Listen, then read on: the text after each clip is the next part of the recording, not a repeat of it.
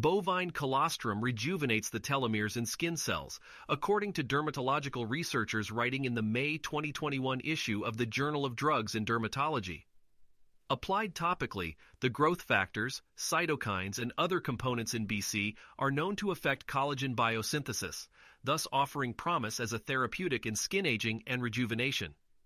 To demonstrate the protective effect that BC exerts on skin aging, researchers used telomere length as an aging biomarker.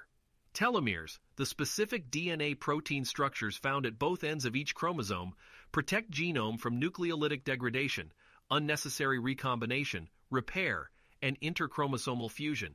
Telomeres therefore play a vital role in preserving the information in our genome.